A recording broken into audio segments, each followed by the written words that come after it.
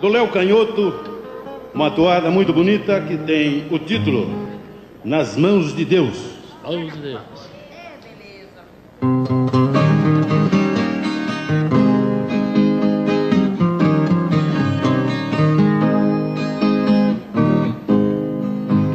Sabe lá o que é passar noites e noites Acordado no mais triste abandono Soluçando no silêncio de um quarto Desprezado igual um cachorro sem dono. Não tem jeito que dá jeito em meu sofrer. Meu coração foi retalhado em mil pedaços.